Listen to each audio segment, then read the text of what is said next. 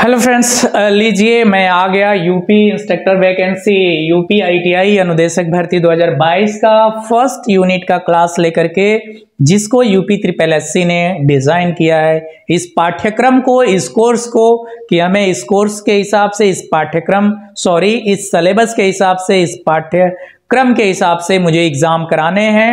आ, ये सेक्शन है ये सेक्शन से इतने क्वेश्चंस आएँगे और उस सेक्शन के अंदर ये ये टॉपिक कवर किए जाने हैं।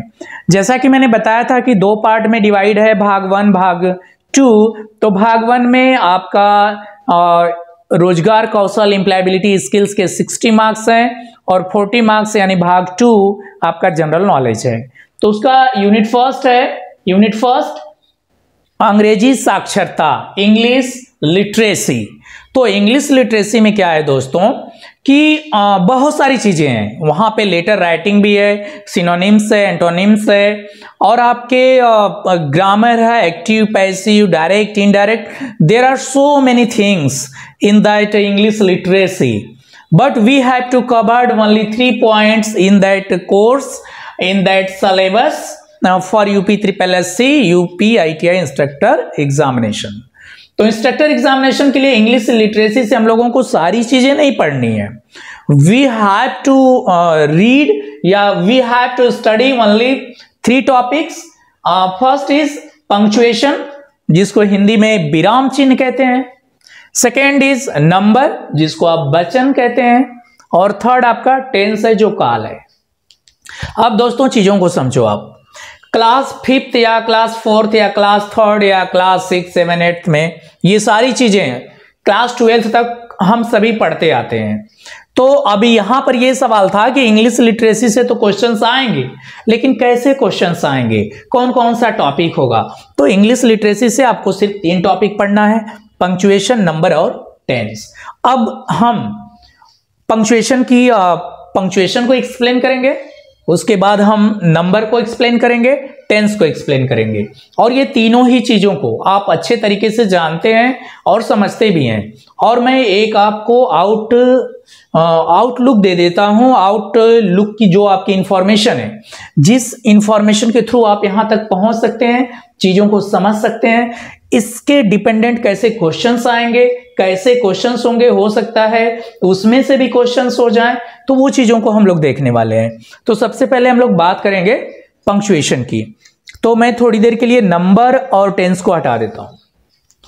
अब पंक्चुएशन में क्या है? पंक्चुएशन की हिंदी होती है विराम चिन्ह। आप जानते हैं कि यूपी ट्रिपल एस मैक्सिमम जो एग्ज़ाम कराती है, हिंदी और इंग्लिश लैंग्वेज दोनों में कराती है। मुझे ये पूरी उम्मीद है कि जो ये पेपर आएगा अनुदेशक भर्ती वाला, ये इंग्लिश में भी हो सकता है और हिंदी में भी हो सकता है। दोनों ही लैंग्वेज में हो सकता है।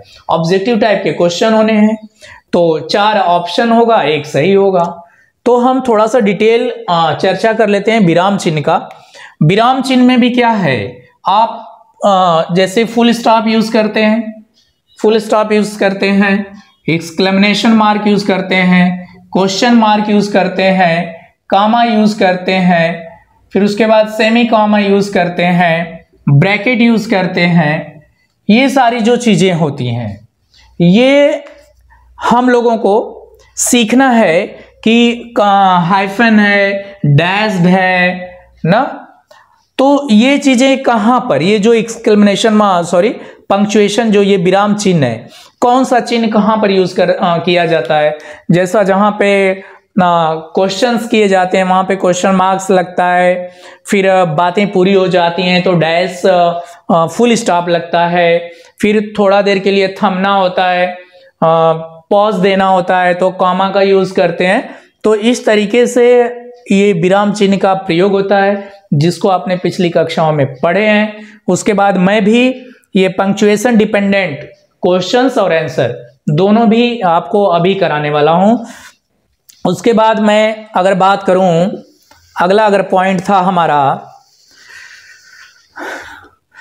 अगला पॉइंट था हमारा, ये पंक्चुएशन हो गया, जो बी हमने लिया था, वो हमारा था नंबर नंबर जिसको हिंदी में वचन कहते हैं। आप जानते हैं हर क्लास में हम लोग पढ़े। नंबर कितने होते हैं? एक आपका सिंगुलर नंबर और दूसरा आपका प्लूरल नंबर। प्लूरल नंबर, जिसको सिंगुलर को आप एक वचन बोलते हैं हिंदी में, प्लूरल को बहुवचन बोलते हैं हिंदी में। अब ये, अब नंबर से आपको क्वेश्चंस आएँगे। क्वेश्चंस भी वहाँ पे रहेगा आंसर भी वहाँ पे रहेगा। कौन सा क्वेश्चन कौन सा आंसर सही है? क्वेश्चन का कौन सा आंसर सही है, उसमें से आपको सेलेक्ट करना होगा। तो सवाल ये है कि जब आपको नंबर की समझ होगी नंबर को सिंगुलर से प्लूरल और प्लूरल से सिंगुलर बनाने आएगा, आता होगा तो आप उन चीज़ों को कर पाएँगे। अगर दोस्तों, आज से यहाँ से अगर आप चीज़ों को सीखना चाहेंगे तो ये थोड़ा टफ होगा।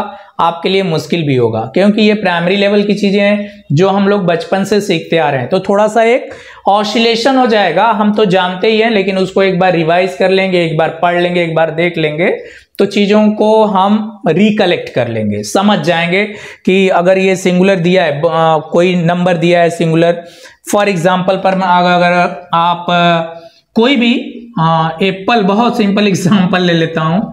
एप्पल है तो एप्पल अगर सिंगुलर है तो आप प्लूरल बनाते हैं तो क्या लिखते हैं? एप्पल्स लिखते हैं। यस लग गया? प्लूरल बन गया। तो ऐसे ही बहुत सारे नंबर्स हैं, बहुत सारी चीज़ें हैं, जैसे मैन है। मैन में यस तो आप लगाएँगे नहीं। मैन का जब आप प्लूरल बनाते हैं तो मैन लिखते हैं। बहुत सारे ऐसी भी चीज़ें हैं सिंगुलर और प्लूरल जिनका सेम होता है। और उसके बाद बहुत सारी ऐसी चीज़ें हैं, जैसे आ, किसी सिंगुलर का प्लूरल बनाना है तो उसके रूल होते हैं। वाई को हटा करके आई एस लग जाता है। तो ये सारी चीज़ों को इतना डिटेल में यहाँ पर पढ़ाना संभव नहीं है। ये चीज़ आपको समझना है कि हमें नंबर पढ़ना है। तो नंबर में आ, कैसे उसके जो रूल्स हैं वो डिटेल्स आपको देख लेना है। बाकी इस पर डिपेंडेंट हमको आपको क्वेश्चन दिखा देंगे। एक एग्ज़ाम्पल देकर के आपको ऐसे ही थोड़ा सा मैं समझा दिया कि चीज़ें कैसे होनी है सिंगुलर से प्लूरल कैसे चेंज होना है और प्लूरल से सिंगुलर कैसे होना है। तो ये चीज़ें रही। तीसरे की अगर मैं बात करूँ, तीसरा पॉइंट जो हम लोगों का है,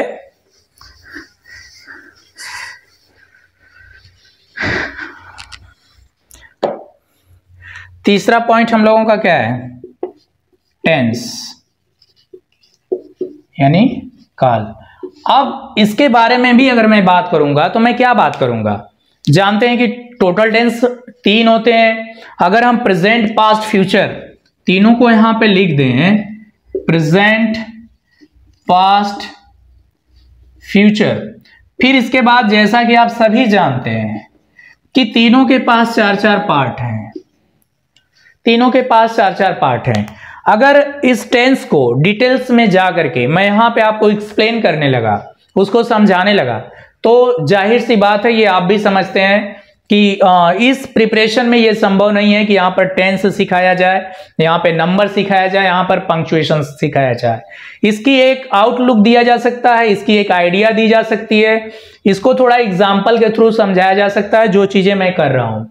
और इससे क्वेश्चंस और क्वेश्चंस के आंसर मैं वो भी आपको दिखाऊँगा, कुछ मेरे पास सेलेक्टेड क्वेश्चंस होंगे, उसके आंसर भी होंगे, उसको भी आप देखेंगे अभी। अगर प्रेजेंट टेंस की ही बात करूँ तो प्रेजेंट टेंस में ही आप प्रेजेंट इंडिफिनिट पढ़ेंगे, फिर प्रेजेंट कंटिन्यूअस पढ़ेंगे, फिर प्रेजेंट परफेक्ट पढ़ेंगे, फिर प्रेजेंट प्रेजेंट परफेक्ट कंटिन्यूअस पढ़ेंगे।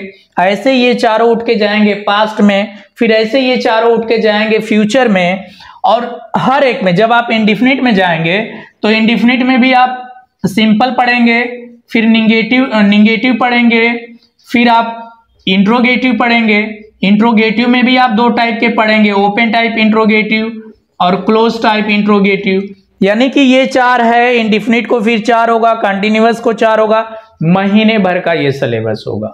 महीने भर अगर आपको टीच किया जाएगा डिटेल्स में एग्ज़ाम्पल के साथ समझा कर रूल के साथ तब जाकर के ये चीज़ें क्लियर होंगी। तो मैं ये मान के चलता हूँ कि ये चीज़ें आपको आती हैं। आप समझ गए कि हमको देखना क्या है, वो चीज़ें देख लेंगे। बाकी मैं कुछ क्वेश्चंस आंसर करा देता हूँ, जिससे आपको काफ़ी हद तक आइडिया भी मिल जाएगी और आपको समझ भी जाएगा कि चीज़ें क्या होनी है।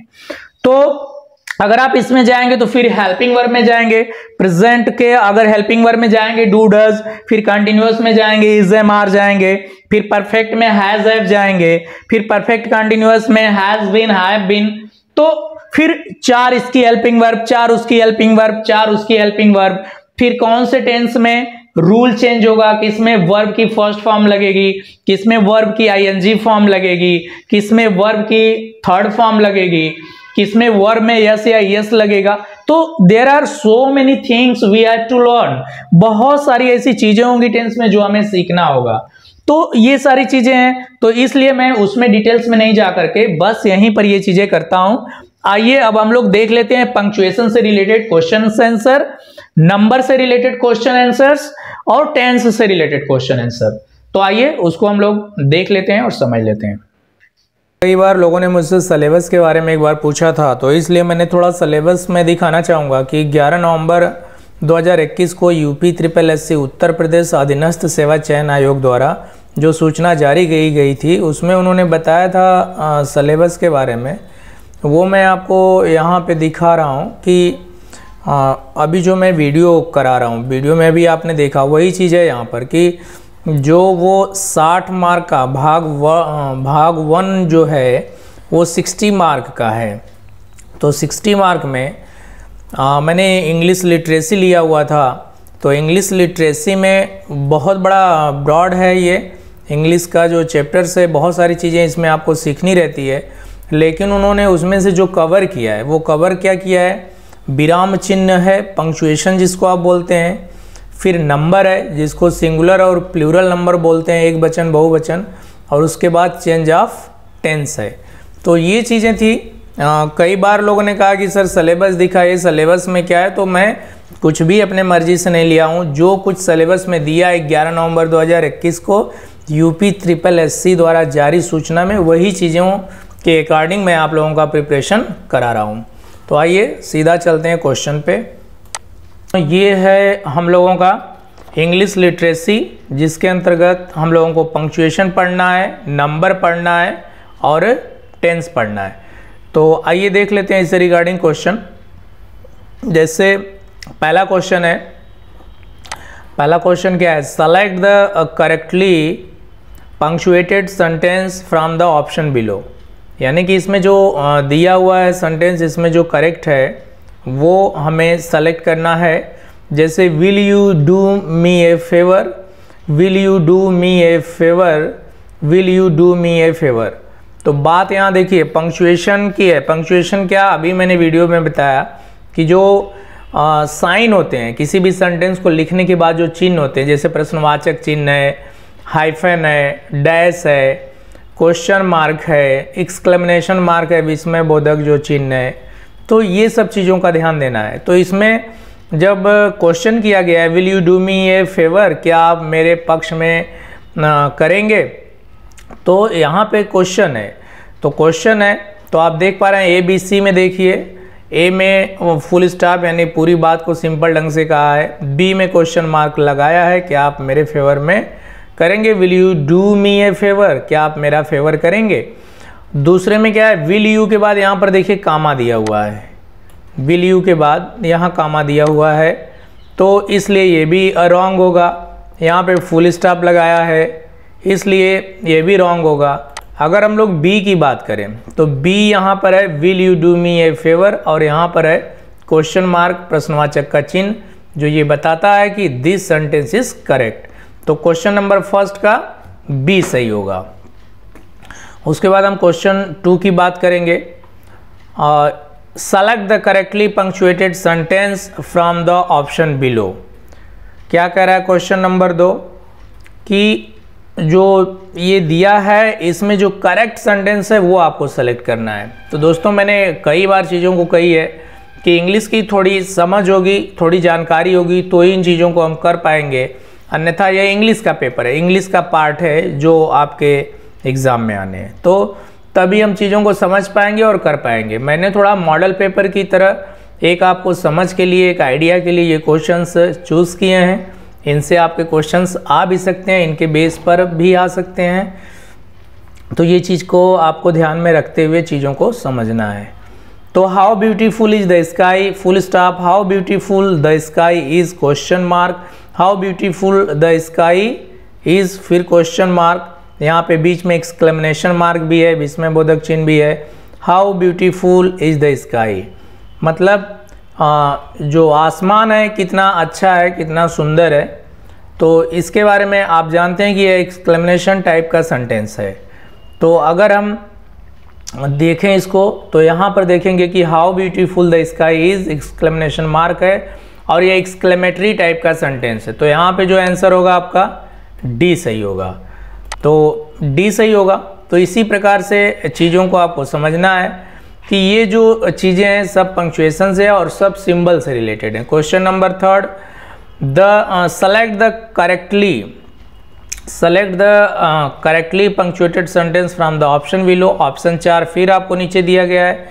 इसमें से जो क्वेश्चन आपको सही है, वो आपको कामा फुल स्टॉप प्रश्नवाचक का चिन्ह जो सब लगा है वो सही लगा है क्या? पार्डन मी पार्डन मी ये गॉड स्मॉल जी लिखा है। पार्डन मी ओ गॉड यहाँ पे कोई कॉमा नहीं है। दो वा दो सेंटेंस है यहाँ पे। पार्डन मी के बाद फुल स्टॉप फिर ओ गॉड दिया हुआ है। तो आ, अगर डी में देखें तो पार्डन मी के बाद कामा दिया है ओ गॉड लिखा है। तो यहाँ पे जो ऑप्शन है तीन नंबर का डी सही होगा आपका। तो यही चीज़ें हैं। इसको थोड़ा सा और स्पीड में हम देख लेंगे चीज़ों को। Select the proper contraction for the bold word in the sentence मतलब इसमें जो बोल्ड वर्ड है प्रॉपर कॉन्ट्रैक्शन जो प्रॉपर वे में लिखा हुआ है, सही तरीके से उसको हमें सेलेक्ट करना है। तो यह सेल नॉट है, हर जगह पे जो भी आप दिया है तो सेल का ऐसे नहीं होता है। शुड है तो सोंट है, ऐसा कोई सेंटेंस नहीं है। यहाँ ऐसा भी कोई सेंटेंस नहीं है। डी में भी आप देख रहे हैं तो इसलिए यहाँ देखिए स्टूडेंट लिखा हुआ है। आसानी से समझ पाएँगे चीज़ों को। तो यहाँ पे आंसर वो सही होगा। Which are the following sentence is correctly punctuated यहाँ भी वही बात है। क्वेश्चन नंबर पाँच। क्वेश्चन नंबर पाँच क्या कह रहा है? Which are the following sentence is correctly punctuated same बात वही कही गई है। तो इसमें अगर हम देखेंगे क्वेश्चन नंबर पाँच में तो क्वेश्चन नंबर पाँच फिफ्थ नंबर कह रहा है कि the student wrote that each of the experiment was successful यहाँ पे दैट भी लगा, ये देखिए डायरेक्ट इनडायरेक्ट से क्वेश्चन बिलोंग करता है, जो आप नरेशन पढ़ते हैं। तो दैट लग गया, जबकि जब कामा इन्वर्टेड कामा रहता है दैट मूव हो जाता है तो वो रॉन्ग हो गया। द स्टूडेंट रोट फिर कामा इन्वर्टेड कामा में तो रोट के बाद ये चीज़ें लिखा हुआ है, यहाँ पर पास्ट इंडिफिनिट का सिंपल टाइप का सेंटेंस है। तरीका ये नहीं है, जब रोट है और बात पूरी कहनी है तो the student wrote that each of the experiments was successful तो this answer will be correct उसके बाद नन ऑफ़ दिस भी दिया था। Which are the following comma rule is incorrect which are the following comma rules is incorrect मतलब ये जो rule दिया हुआ है, कौन सा गलत है? तो जानते हैं आपकी आ, मैंने बताया था कि तीन चीज़ें आपको इंग्लिश में पढ़नी है। एक तो पंक्चुएशंस पढ़ना है चेंज ऑफ़ टेंस पढ़ना है और नंबर पढ़ना है सिंगुलर प्लूरल तो सॉरी ये आपका वचन है नंबर है। तो यहाँ पे देखेंगे क्वेश्चन नंबर सिक्स में place the comma after items in series जब कोई बात लिखी रहती है जैसे राम मोहन सोहन तो आप कामा कामा दे के लिखते हैं लास्ट में इत्यादि लिखते हैं। तो इस तरीके से चीज़ें हैं। Place comma after introductory element in the sentence introductory element के बाद भी सेंटेंस के बाद भी कामा लगता है। Place the comma before coordinating conjunction that join independent clauses जब दो क्लासेज को कंजंक्शन द्वारा जोड़ते हैं कोऑर्डिनेटिंग कंजक्शन द्वारा तो भी कामा का प्रयोग होता है। Set off restrictive essential elements with the comma ये रॉन्ग लिखा हुआ है, इसमें कामा का नहीं होता यूज़ सेट ऑफ़ रिस्ट्रिक्टिव जिसको आ, कोई सेट ऑफ़ रिस्ट्रिक्शन मतलब किसी चीज़ को मना करना रिस्ट्रिक्टेड करना। Essential elements with the comma उसमें जो ज़रूरत के आ, तत्व होते हैं या वर्ड होते हैं वहाँ पे कामा लगता है तो ऐसा नहीं है। तो here is D option will be correct तो ये हो गया आपका छ नंबर। उसके बाद हम देखेंगे सात नंबर क्या कह रहा है। Which of the following sorry sorry seven number which of the following positive is correctly punctuated the library lost all its book that's everyone guesses that car is not yours that car is not yours तो here is ये होगा कि the library lost all its book सभी book library the library lost library ने खो the all its book ये सभी किताबें। तो इस तरह से ये देखिए प्रॉपर वे में लिखा है। बस ये देखना है, चीज़ें प्रॉपर वे में हैं या नहीं, ये चीज़ें तभी आप देख पाएँगे। यहाँ पे देखिए कहीं फुल स्टाफ है तो कहीं उल्टा पलटा कामा लगा हुआ है। यहाँ पे देखिए आप एनी वन में देख सकते हैं। तो इस तरह से चीज़ें जब समझ होगी तभी हम उन चीज़ों को ये बोल पाएँगे कि ये जो है गलत है या सही है। अब आप देखिए when will you return to our city आठ नंबर क्या करा? When will you return to our city आप हमारे शहर कब आएँगे? तो अब यहाँ पे क्या बोल रहा है? अब वाक्य की जब समझ होगी, तभी हम चीज़ों को समझ पाएँगे। जैसे यह इंट्रोगेटिव टाइप के सेंटेंस हैं। इंट्रोगेटिव टाइप का सेंटेंस का मतलब प्रश्नवाचक वाक्य हैं। तो इसमें सिंपल सी बात है, जब पूछा गया कि when you when will you return to our city आप हमारे शहर कब आएँगे तो सीधी सी बात है कि ए यहाँ पर सही होगा और क्वेश्चन मार्क लग जाएगा। Nine number the offer the children bananas apple pears and plums तो इस तरह से देखिए फ्रूट्स के नाम दिए हुए हैं। तो यहाँ पर बनानास के बाद काम रहेगा एप्पल्स के बाद काम रहेगा पियर्स के बाद काम रहेगा एंड प्लम्स लिखा है। जैसा कि आप जानते हैं कि सभी शब्दों को लिखने के बाद जो लास्ट शब्द होता है उससे पहले एंड आता है। तो ये चीज़ें हैं। तो अब यहाँ पर आप क्या यूज़ करेंगे? देखिए ए तो ए यहाँ पे सही हो जाएगा कामा है, फिर semi colon none of these है हाइफन है। तो यहाँ पे जो आंसर आपका सही होगा कामा होगा नाइन का ए अगर हम आपसे टेंथ नंबर की बात करें तो टेंथ नंबर क्या कह रहा है? The rich was a self made man the rich was a self made man तो यहाँ पर ए हाइफन यानी ये वाले सिंबल का यूज़ होगा। हाइफन सिंबल का यूज़ होगा। हाइफन सिंबल ऐसे होता है डैश की तरह छोटा होता है। Tom said Tom said dot dot dot I have not seen Coral today Coral का मतलब होता है यहाँ पर एक मूवी से। तो टॉम ऐसा बोल रहा है कि उसने आ, आज ये मूवी करल मूवी नहीं देखी है। तो यहाँ पर ये देख आप देख पा रहे हैं कि टॉम सेड है फिर वो कह कहा फिर कामा इन्वर्टेड कामा लगेगा। तो ये चीज़ें हैं ये देखिए बी नंबर जो है स्पीच मार्क बोला है। बी नंबर जो बोला है स्पीच मार्क तो बी वाला आंसर सही होगा। तो ऐसे आपको समझना है दोस्तों। जैक फिर dot dot dot the carpenter फिर made a cupboard. Jack, उसके बाद कॉमा, जैक, वो the carpenter, made a cupboard cupboard बनाया। तो यहाँ पे कॉमा का प्रयोग होगा, क्योंकि बाकी चीज़ें आप देख पा रहे हैं, ब्रैकेट लिखा है, क्वेश्चन मार्क लिखा है सेमी कॉलन लिखा है। तो जो बारह का आंसर सही होगा, वो आपका होगा ए। तेरह में, Jim lives in Australia, his brother lives in England. अब देखिए, ये बड़ी समझ वाली बात है। तेरह नंबर क्या कह रहा है? कि Jim lives in Australia his brother lives in England तो यहाँ पर आप अगर यूज़ करेंगे तो सेमी कॉलन का प्रयोग करेंगे, क्योंकि सेमी कॉलन का मतलब होता है अर्धविराम। तो ऑस्ट्रेलिया के बाद सेमी कॉलन का प्रयोग होगा, फिर his brother lives in England होगा। तो ऐसे I found Clary jacket 14 number. I found Clarice jacket on the chair जो मैंने पाया क्लैरिस जैकेट क्लैरिस की जो जैकेट है वो चेयर पर पड़ी हुई है। तो क्लैरिस की जैकेट तो आई फाउंड क्लैरिस जैकेट तो अब देखिए क्लैरिज लिखा है तो जैसे फादर्स लिखते हैं फादर्स नेम तो एक पॉज ट्रॉफी लगाते हैं, जिससे हिंदी निकलती है पिता का नाम। तो यहाँ पे जो आंसर होगा सी सही होगा ए ट्रॉफी लगेगा क्लैरिस के आगे। ऐसे ही दोस्तों Ronnie comma I you in a long time how you been तो अब पंद्रह नंबर क्या कह रहा है? पंद्रह नंबर अब वाक्य से आपको समझना है। रॉनी फिर आई बोल रहा है you in a long time how you been question mark तो was seen I was seen you in a long time I saw you in a long time I haven't seen या I had not seen या आई hadn't scene तो ये चीज़ों को समझ लें दोस्तों। क्या कह रहा है? यहाँ पर ये होगा प्रेजेंट परफेक्ट के अकॉर्डिंग क्या बोल रहा है? यहाँ देखिए वर्ब की थर्ड फॉर्म भी लगी है हैव भी लगा है। तो जो प्रेजेंट परफेक्ट का हेल्पिंग वर्ब होता है, सहायक क्रिया होता है हैव तो Ronnie I haven't seen you in a long time Ronnie, मैं तुम्हें बहुत काफ़ी लंबे समय से नहीं देखा हूँ। हाउ हैव यू बीन आप कैसे हो? इसका जो हिंदी शाब्दिक अर्थ होगा, इस तरीके का होगा।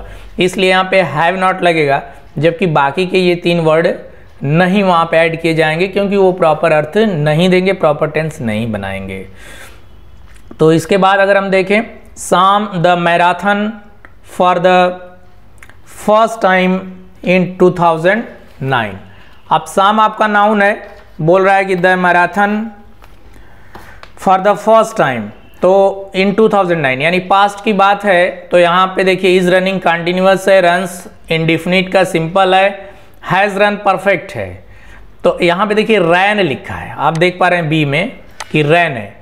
तो Sam ran the marathon for the first time in 2009 यानी साम आ, पहली बार जो मैराथन दौड़ा वो 2009 में दौड़ा था। शाम 2009 में आ, पहली बार मैराथन में भाग लिया था या दौड़ा था जो भी है आप इस तरीके से हिंदी आ, उसका बोल सकते हैं। Did you play tennis yesterday देखिए अब देखिए टेंस आ गया सेवनटीन नंबर बहुत इजी होगा। Did you play tennis yesterday क्या आपने कल टेनिस खेला? अब इस टेंस के बारे में बताना है आपको। तो डिड का प्रयोग हुआ है क्वेश्चन मार्क है तो सिंपल सी बात है कि वो सिंपल पास्ट है। फिर have you seen the recently Bollywood film have you seen अब यहाँ पर दोनों प्रकार की बातें हो रही हैं। क्या बोल रहा है? Have you seen the recent have you seen the recent Hollywood film अब हैव का प्रयोग हुआ है सीन का भी प्रयोग हुआ है। तो अब ये कौन सा टेंस होगा? आप जानते हैं कि present perfect present perfect tense में वर्ब की जो होती है थर्ड फॉर्म लगती है। प्रेजेंट परफेक्ट में वर्ब की थर्ड फॉर्म लगती है और उसकी जो हेल्पिंग वर्ब होती है हैव होती है। तो इसलिए यहाँ पर बी सही है। शेक्सपियर हैज़ रिटेन ध्यान दीजिए Shakespeare has written Shakespeare has written dramas appealing to people of all ages Shakespeare ने बहुत ही फैंटास्टिक बहुत ही अच्छा सभी उम्र के लोगों के लिए ड्रामा लिखा था। तो अब यहाँ पर हमको 19 नंबर में बोलना है। तो 19 नंबर में हैज़ रिटेन लगा है। तो हैज़ रिटेन अगर है तो प्रेजेंट परफेक्ट हैज़ है प्रेजेंट परफेक्ट का हेल्पिंग वर्ब होता है और थर्ड फॉर्म लगा है। तो सभी टेंस के परफेक्ट टेंस में वर्ब का थर्ड फॉर्म लगता है। Twenty number the flight before the reach the airport अब इस पर आप क्या करेंगे इस पर आप क्या करेंगे तो will have taken off has taken off is taking off was taking off the flight before we reach the airport हम लोगों को एयरपोर्ट पहुँचने से पहले फ़्लाइट चली गई तो the flight has taken off. This is the proper. The flight has taken off before we reach the airport. हम लोगों को एयरपोर्ट पहुँचने से पहले फ़्लाइट चली गई। 21 नंबर इंपॉर्टेंट है, काफ़ी, जैसा वहाँ पर आप देख पा रहे हैं, नंबर, मैंने बोला कि सिंगुलर प्लूरल नंबर से रिलेटेड आपको चीज़ों को पढ़नी है। तो इसमें क्या है दोस्तों? बहुत सिंपल मैंने एग्ज़ाम्पल दिया हुआ है। दो तरह के आप नंबर जानते हैं। सिंगुलर नंबर होता है प्लूरल नंबर होता है। क्वेश्चंस कैसे होते हैं सिंगुलर और प्लूरल से? ज़्यादातर जो जनरली आप देखते हैं कि सिंगुलर नंबर जो होता है सिंपली उसमें यस लगा देते हैं प्लूरल बन जाता है। जैसे फ़ैन का फैंस हो गया चेयर का चेयर्स हो गया शर्ट का शर्ट्स हो गया। तो इस तरह से सब में यस लग गया तो आपका बन गया जो भी है सिंगुलर से प्लूरल बन गया। तो जनरली ऐसे होता है, लेकिन कुछ रूल भी होते हैं। यदि सिंगुलर कॉमन नाउन होता है, मैं अगर यहाँ से बात करूँ क्लास से बात करूँ तो क्लास जो है कॉमन नाउन होता है। तो ऐसे वाक्यों में कॉमन नाउन अगर सिंगुलर नंबर है और कॉमन नाउन है तो वहाँ पर ई एस लगा करके सेंटेंस को बनाया जाता है सिंगुलर से प्लूरल जैसे क्लास यानी कक्षा आपका कॉमन नाउन है तो कॉमन नाउन होने की वजह से सिंगुलर नंबर कॉमन नाउन है तो इसमें ई एस लग जाएगा। तो क्लास का क्लासेज हो गया मैच है मैचेज हो गया बेंच है बेंचेज हो गया लेडी है अब ये देखिए, यहाँ से थोड़ा सा रूल आपका चेंज होगा। तो यदि किसी कॉमन नाउन का जो लास्ट लेटर है, जैसा आप सभी जानते हैं कि वाई होता है तो जब हम उसका प्लूरल बनाते हैं, जैसे लेडीज़ आप कहते हैं ना लेडी कहते हैं लेडीज़ कहते हैं तो जब आप उसका प्लूरल बनाते हैं तो वाई को आप रिमूव कर देते हैं आई ई एस से। कब? सिंगुलर से प्लूरल बनाते वक्त। यानी एक वचन से बहुवचन बनाते वक्त आप वाई को हटाएँगे और इसके जगह आई ई एस लिख देंगे। तो लेडी का देखिए लेडीज़ हो गया स्टोरी का स्टोरीज हो गया। अब फिर यहाँ से थोड़ा सा रूल चेंज हुआ है। हाँ जैसे प्ले है तो प्ले का प्लेज हो गया की का कीज हो गया डे का डेज़ हो गया फ़ोटो का फ़ोटोज़ हो गया किलो का किलोज हो गया, ना? तो वाई के पहले, अगर आप चीज़ों को देखें कि वाई के पहले जब कंसोनेंट होता है, तब आई ई एस नहीं लगता है। जहाँ मैंने यहाँ पे लेडीज़ वाले में दिखाया था आपको। जब आप लेडीज़ सॉरी थोड़ा सा मुझसे मिस्टेक हो गया बोलने में। तो जो लेडी यानी वाई पहले वाई से पहले अगर कंसोनेंट होता है तो आई ई एस लगता है। और वाई से पहले वाई से पहले कंसोनेंट होता है तो आई ई एस लगता है। जैसे कि आप देख रहे हैं कि यहाँ वाई से पहले आर है तो आई ई एस लगा है। वाई से पहले डी है तो आई ई एस लगा है। और वाई के पहले जब वॉवेल्स होगा वाई के पहले अगर वॉवेल्स होगा तो सिर्फ़ हम यस का यूज़ करेंगे। जैसे आप A E I O U A E I O U तो वाई से पहले वॉवेल्स होगा तो देखिए यहाँ भी प्ले में भी वाई से पहले वॉवेल्स है तो प्लेज हो गया, की वाई से पहले वॉवेल्स है तो कीज हो गया डे में वाई से पहले वॉवेल्स है जैसे ए ई आई ओ यू ये जो पाँच लेटर होते हैं कंसोनेंट और वॉवेल्स में अल्फ़ाबेट में वॉवेल्स के तो हमें ये रूल है कि वाई से पहले अगर ए होगा तो हम सिर्फ़ यस का यूज़ करेंगे। जैसे फ़ोटो नहीं सॉरी यहाँ से दूसरा रूल स्टार्ट हो जाएगा। तो ये चीज़ें हैं। यहाँ से रूल होगा सिंगुलर नंबर। अगर कॉमन नाउन है, जिनके लास्ट में ओ रहता है और ओ के पहले कॉन्सोनेंट भी रहता है, लेकिन सिर्फ़ यस जोड़कर प्लूरल बनाया जाता है। जैसे फ़ोटो का है फ़ोटोज़ किलो का किलोज है पियानो का पियानोज हो गया। अब देखिए, यहाँ से आपको थोड़ा सा ध्यान देने वाली बात है। यदि किसी सिंगुलर कॉमन नाउन का लास्ट लेटर यफ और यफ ही हो तो यफ को हटा करके या यफ ही को हटा करके वी ई एस जोड़ते हैं। मैं क्या बोला? यदि किसी सिंगुलर कॉमन नाउन का, जैसे काफ है गाय का बच्चा होता है, बछड़ा होता है तो इसको क्या बोल रहे हैं कि अगर यफ या यफ ई होता है तो उसको हटा करके जब प्लूरल बनाते हैं तो वी ई एस जोड़ देते हैं। तो काफ को जब यहाँ पे आप करेंगे तो कॉप्स हो गया, यल साइलेंट रहता है। लोफ है तो यहाँ पे आप लोफ में यफ को हटा करके इसका प्लूरल अगर बनाए आप तो वी ई यस हो गया। दोस्तों, ये थोड़े से कॉमन रूल थे जो मैंने बताए आपको। इसको और डिटेल्स में जब आप सिंगुलर और प्लूरल का चैप्टर पढ़ेंगे, यानी नंबर पढ़ेंगे, जिसको हिंदी में बचन कहते हैं तो वहाँ पे सारे रूल दिए हैं।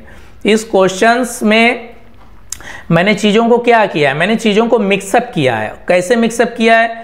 जैसा यूपी ट्रिपल एस ने बोला है। यूपी ट्रिपल एस ने जैसा अनुदेशक का सिलेबस जारी किया है, उस सिलेबस के अकॉर्डिंग मैंने चीज़ों को डाला। यहाँ इंग्लिश लिटरेसी में बहुत सारी चीज़ें डाली जा सकती थी।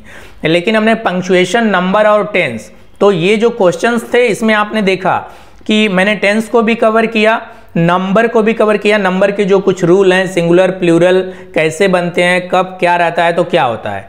उसके बाद पंक्चुएशन कहाँ प्रश्नवाचक का चिन्ह लगेगा, कहाँ फुल स्टॉप लगेगा, कहाँ कामा लगेगा, कहाँ विस्मय बोधक मार्क लगेगा, जिसको एक्सक्लेमिनेशन मार्क आप कहते हैं। तो इस तरह से बहुत सारी चीज़ों को मैंने जोड़ा है, समझाने की कोशिश किया है। ऐसे ही जो ऐसे ही जो नेक्स्ट है यूनिट सेकेंड जो आएगा यूपी अनुदेशक का यूनिट सेकेंड जो आएगा जो चैप्टर पढ़ाऊँगा या जो चैप्टर आपको कराऊँगा तो उसके लिए आप वीडियो में कंटिन्यू बने रहें चैनल पर नए हैं तो चैनल को सब्सक्राइब करके रखें, ताकि आपको चीज़ों को एटलीस्ट एक समझ हो जाए कि एग्ज़ाम जैसा आप सभी जानते हैं कि यूपी ट्रिपल एस पहली बार उत्तर प्रदेश आईटीआई अनुदेशक की भर्ती में written exam UP triple S के थ्रू होने जा रहा है। तो किसी को अभी ये नहीं आइडिया है कि किस तरह के क्वेश्चंस आएँगे, क्या पैटर्न होगा। लेकिन यूपी ट्रिपल एस ने जो जारी किया है पैटर्न, और उस पैटर्न पे जो उन्होंने सलेबस जारी किया है, उसके अकॉर्डिंग हम आप लोगों को क्लासेस करा रहे हैं। तो दोस्तों, एक बार फिर से आप सभी को wish you all the best thank you for watching लेते हैं आप लोगों से विदा। बने रहिए ई एंड इन्फो पर। Thank you